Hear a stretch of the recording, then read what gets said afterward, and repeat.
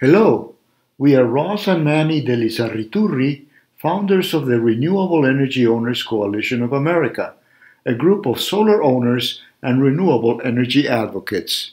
Welcome to Know Before You Go Solar.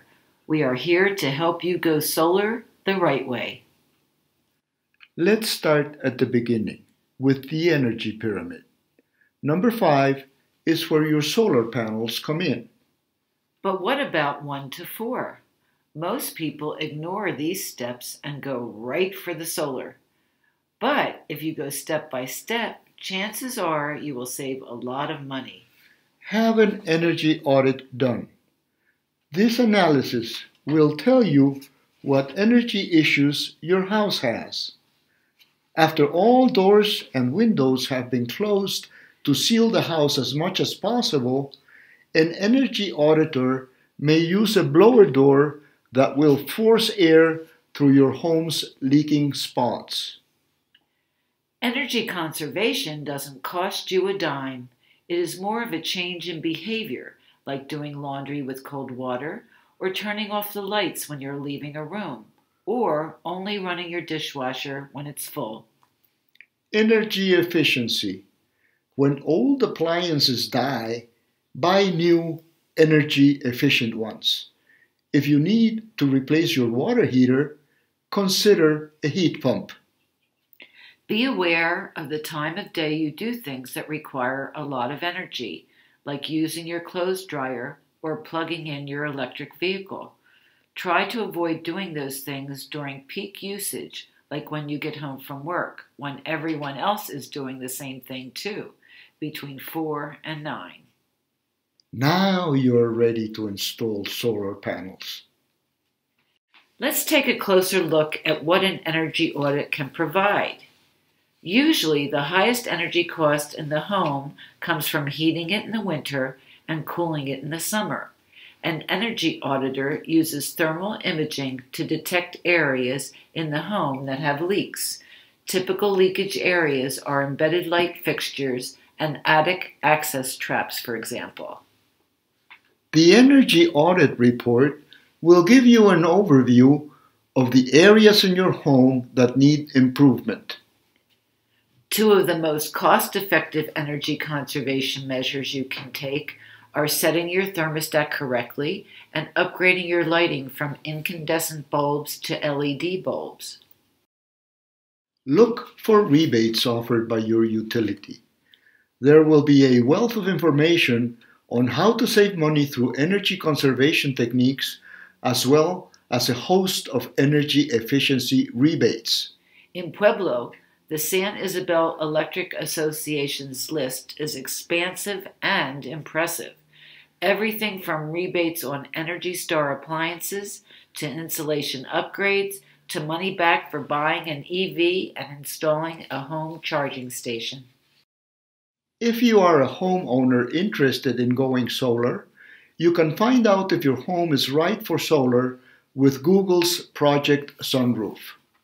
Just enter your address and your average monthly electric bill, and Project Sunroof will do some initial calculations for you.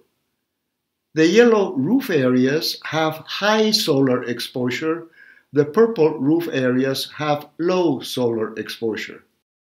If you live in a condo or apartment, or if your home is not well suited for rooftop solar, there are other alternatives available to you, such as community solar. Contact your local utility to find out how you can participate in community solar. So, when a solar salesman comes knocking on your door, ask these questions How long have you been in business? Are you licensed to do business in my state? Do you have a local office in my town? As with any major home improvement project, purchasing from the right installer or contractor is every bit as important as the product that you're purchasing. Get a list of references and call them.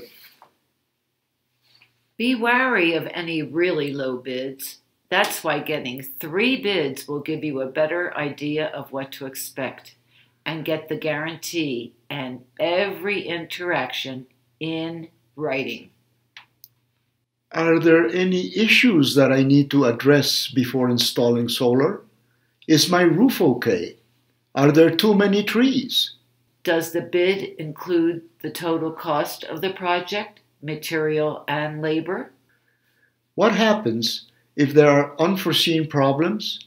For example, one of REOCA's members had a service call and was charged for travel time when the supplier had advertised itself as a local. Does the bid include a time frame? In jobs that take too long, you may wind up still paying for your electric bill and your finance bill from the solar installation. Find out who pays for the double billing. Are your installers NABCEP certified? The North American Board of Certified Energy Practitioners, NABCEP, is the most respected, well established, and widely recognized national certification organization for professionals in the field of renewable energy. NABCEP is the only certification program with an enforceable code of ethics holding unethical installers accountable. Having NABCEP certified professionals on the job will ensure a sense of confidence. Will there be a master electrician on the job? A master electrician must be on site to make all the electrical connections. A federal tax credit for your solar installation is available in some cases. You must pay enough federal taxes to be eligible for the tax credit. Federal tax credits are still substantial for 2020 and 2021. If you qualify, you can save 26% if you install solar in 2020.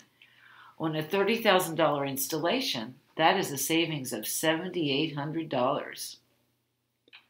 Contractors may use confusing terms.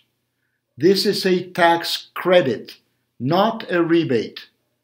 If you don't make enough money to pay federal taxes, the solar tax credit will not apply.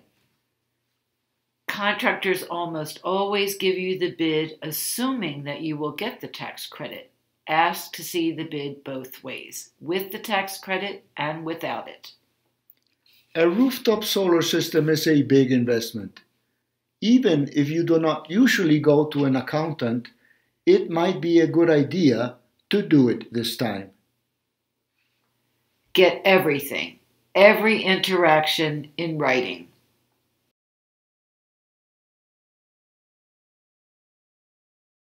So today we're with Judy Knight, a REOCA member. Uh, good afternoon, Judy. Hi. Hi. Um, I met Judy because Judy had uh, massive problems with her solar company, and Black Hills Energy sent her to us to try to help her. So thank you for doing this today with us, Judy, to help somebody else avoid some of the problems you had. I First, hope so. I hope so too. First, um, what kind of tax credit did the contractor tell you to expect? Well, the way it was explained to me was it was a rebate, thirty percent of the cost of the solar, and I would get that back at, at the end of tax season. And that didn't work out that way. They told me my payments would be $144 a month, but they didn't tell me that I would have to take that money and turn around and put it on the loan. But I couldn't get that money anyway because I don't owe that amount to be able to get the tax credit. So I got nothing. Okay, and and this is a problem with many companies. They tell you, you assume you're going to get the tax credit, but they called it a tax rebate, Okay, so misinformation. yes. Um, would you have gone solar if you were not going to receive that tax credit? Well, no, because they told me my payments would be $144 a month. Without that tax credit, my payments are actually going to be over $200 a month. So, not probably not. Before you started your project, I know you told me you asked if your house was okay the way it was for a solar installation. And did that turn out to be the case? No. My breaker box was not correct. Cost me $200 to get that fix. They told me I would have to move the meter outside at a cost of $2,500. And I refused to do it because they told me it was okay. Well, um, it, Black Hills got involved in it and said and found somebody that would do it for fifteen hundred dollars, and then the solar company said they would pay half. So I agreed to do it. So it cost me fifteen hundred dollars to move it, and I eventually got half of it back. But that took quite a while, from what I remember. Took quite a while. That's where the meter used to be. And they said it couldn't be in this room because it was enclosed, but the room was here when I bought the house 33 years ago. Mark Eastland from Black Hills got involved in the moving of the meter inside. And so the meter that was in that room we were just in is now this meter right here. So what happened when they installed the solar meter? Well, they installed it behind some bushes that I had out there.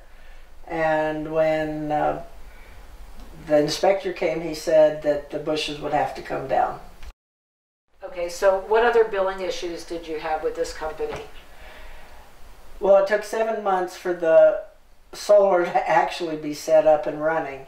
And in that amount of time, I was paying interest to the finance company and paying my solar bills. I mean, excuse me, my bills to Black Hills Energy. So I was basically double paying bills for seven months. Well, they told me they would pay back the first six months of payments to the finance company. and they weren't doing it. And then I, I got put in contact with you, and you got involved, and I did get back that money. So what impressed me, Judy, as we were going back and forth with your solar company, it impressed me that you had all your emails, you had all the proof of all these things we've discussed today had happened to you. So, um, what advice would you give to someone that uh, was going to install solar? Well, I would say check out probably at least three different companies and and really talk to them and find out what their price is, what you're going to get. Get everything in writing because I did get everything in writing, and um, then you can decide if you want to do it or not. Because what I was told didn't end up being the right Now, you mentioned to me that a neighbor asked you about going solar, and what did you advise your neighbor? I told him if you're really seriously thinking about going solar, to do it locally. Find somebody here in Pueblo. Oh, you did not use a local installer? No, the people I went through were from out of state, even. Okay, and they had no local presence? No. What about the misinformation about the tax credit? What would you advise people to do about that when they're told? I would say go to an accountant and find out if you're really going to be able to get that tax credit because I just took their word for it. I didn't realize it was going to be a tax credit and that I was not going to be eligible for it because I didn't owe that kind of money. Exactly. That's perfect. Well, Judy, thank you so much. I'm really hoping that the things, I'm sorry for what's you, happened to you, but I'm hoping that those things will help someone else. I hope so.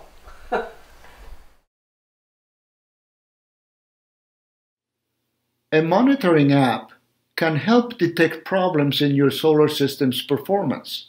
It offers information about energy consumption and generation and possible malfunctions of your solar system. During our solar system's lifetime so far, Manny and I have avoided 27.9 tons of CO2 emissions.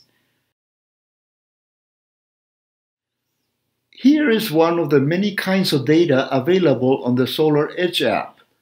Each year is shown month by month so you can see if there are any major deviations.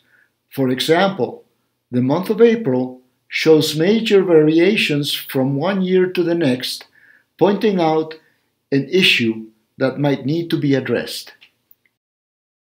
Some inverter companies provide apps that give very detailed information on their solar system. Enphase, for example, can monitor each panel individually. We'll finish this presentation showing you a living example of knowing before going solar. Sheldon Braun, a REOCA board member, did everything correctly right from the beginning and saved a ton of money.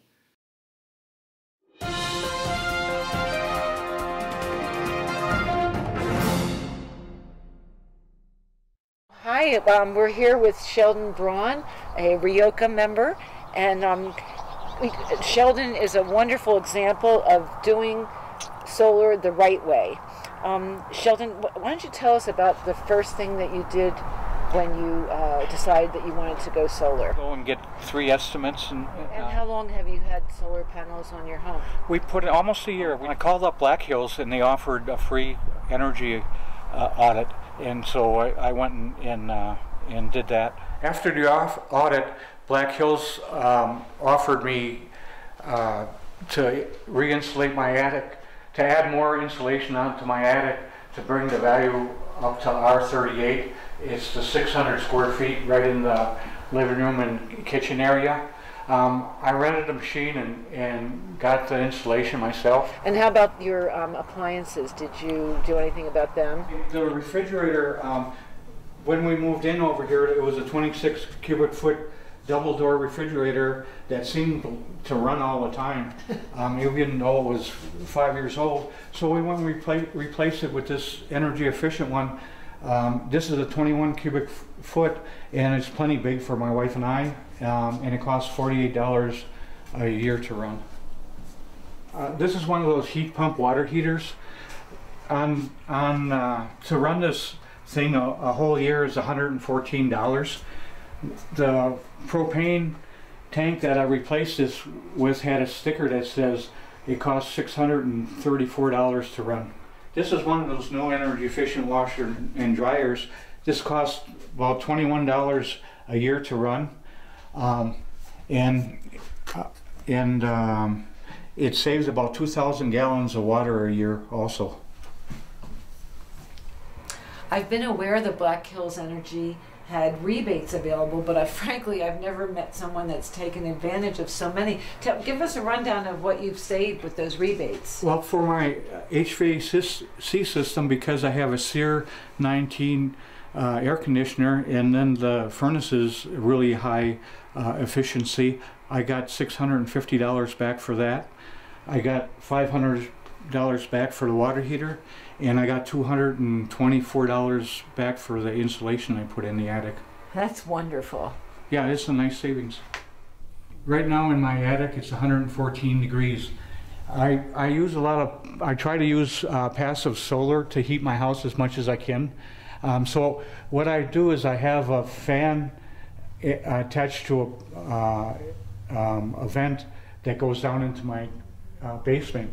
And I can turn the switch on and right now I'm bringing that 114 degree air down into my basement anytime it's really sunny and it's about 50 degrees during the winter time, it gets above 100 degrees in the attic. And I'm just recouping some of that heat that the sun gives us. Here's where the uh, hot air is- comes out. I haven't put the vent on yet, but you can feel, uh, I can feel that the air is nice and warm down here. It'll raise it, it's 62 degrees right now in the uh, basement. But it'll probably, if I leave them on for four hours, it'll raise it up to 65 or 66 degrees down here. And it heats up the concrete floor and the concrete walls in here. Also, another thing I do is, is all my electronics, I unplug it. These heat, these uh, power strips are, are really nice to do that. You can do it all at once. And then also all my lighting in here is LED lighting. Okay. So, um, Sheldon, tell me, do, do you think that the different improvements that you made meant that you needed less solar panels? Um, there's 12 panels on the roof, and, and originally there was going to be 20. And I've went through the whole year uh, without uh, having to pay an electric bill besides my customer uh, uh, one, you know, nine dollars and thirteen cents, That's excellent, even in the wintertime. even in the winter. How big is your house? Um, it's 1,300 square feet on the uh, first floor, and then I have a finished basement. But we don't really heat it during the winter time. It's just uh, um, the upstairs that we live in. Most So of the time. So you think your electric bills would have been $1,500 just for the second floor? Well, all the utilities altogether would have been, probably been about fifteen hundred dollars. Wow, big savings.